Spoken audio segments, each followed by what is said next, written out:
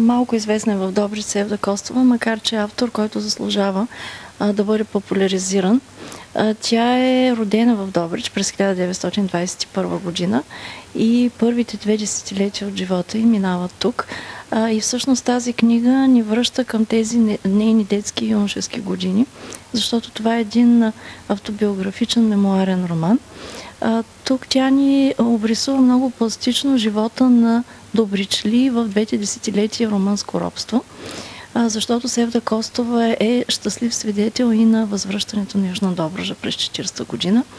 И действително всичко това я е вълнувало и е станало повод на около 60 годишна възраст да започне да пише тази книга, която посвещава на дъщеря си и първоначално заглавява спомени от детството. А, завършена е 82 година тази книга. Можем да сметнем, че са минали 35 години. И всъщност тя така и не успява да намери средства, за да издаде този свой роман. Всъщност книгите на Севда Костова имат интересна съдба, защото авторката още 50-те години започва да се занимава с а, различен тип а, дейности. Тя събира словесен фолклор и издава една книга от 150 народни песни, песента остава. А, започва да пише есета, либрето за балетни спектакли, приказки, а, притчи, легенди и се обръща и към романа. И през 70-80-те години написва няколко романа. Любопитното е, че от всички тези книги много малко излизат преди 89-та година. Защо така? Не знае какви са причините, дали тя не ги е предлагала или не са ги издавали. Но истината е, че е открита от Никола Радев, а, който е в журито на един конкурс за романи на морска тема в началото на 90-те години.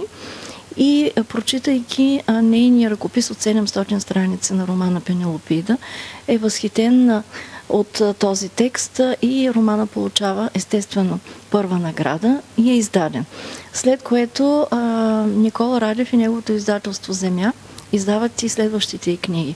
Но някак си не идва ред на книгата за Доброжа земя и корени. Истината е, че аз лично познавах Севда Костова и тя още в 2000-та година ми даде този ръкопис да го прочета. Прочетох го и бях удивена от текста и направих опити тогава да намеря някакви средства тук в община град Добрич или а, от а, спонсори, за да издадем този роман. За жалост не успях. Написах тогава една статия в а, един от местните вестници, но нямаше никакъв отзвук за всичко това, че има един такъв изключителен ръкопис.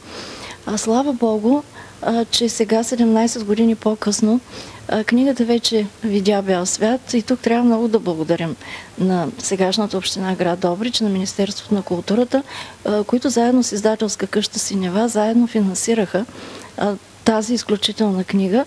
Казвам го а, с а, пълно убеждение, че това е една от литературните сензации на 2017, защото такива са отзивите в София.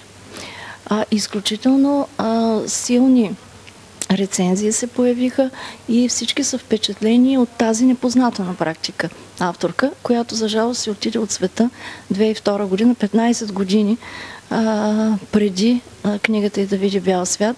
И на нея още тогава и беше много мъчно, че а, макар и слабо, все пак след 90, през 90-те, а, тя беше до някъде известна във Варна и в София, но не и в родния си Добрич и че тази книга така и не видя бял свят, за да й се порадва при живе. Да, но благодарение на вас премиерата е в Добрич. А, благодарение на издателската къща, разбира се, благодарим им, че решиха премиерата на книгата да е в Добрич. Това е жест, разбира се, към общината, която даде най-голяма финансова подкрепа за да стане факт тази книга.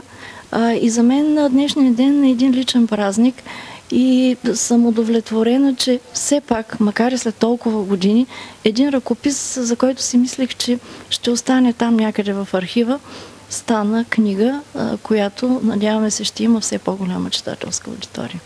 Преди точно 35 години, когато така наречената модерна проза все още или безсюжетна, или каквато още наречете, все още не, не съществува, може да добиете представа за какво става дума. Вътре има хайде да го наречем така. Тя е една галерия от образи на старите добричли. ако ще, макар че това не е единственото.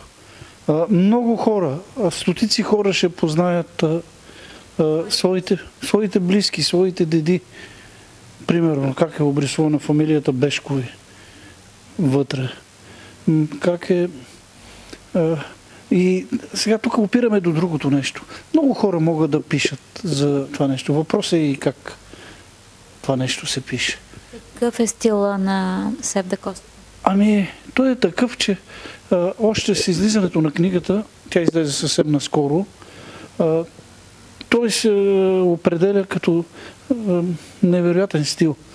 Получава толкова висока оценка, че просто ми е неудобно да я споделям, защото може би някой ще си помисли, че аз го правя за да рекламирам книгата. Но искам да ви кажа, че аз съм издал и редактирал стотици книги. За нито една книга не съм говорил това, което съм говорил за нея.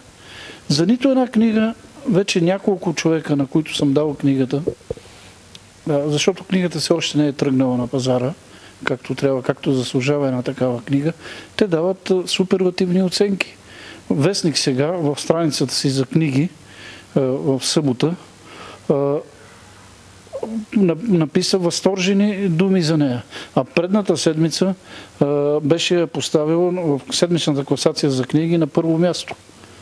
А, и накрая завършваше тази рецензия с а, думите, че добришли и трябва да се стягат да дигат паметник на Севда Костова. Интересно е наистина тази а, амплитуда.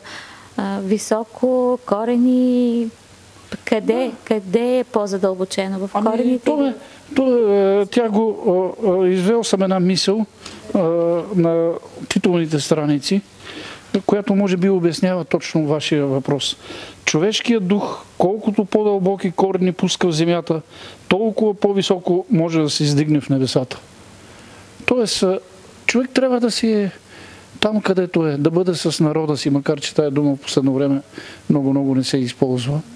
Но това е самата истина.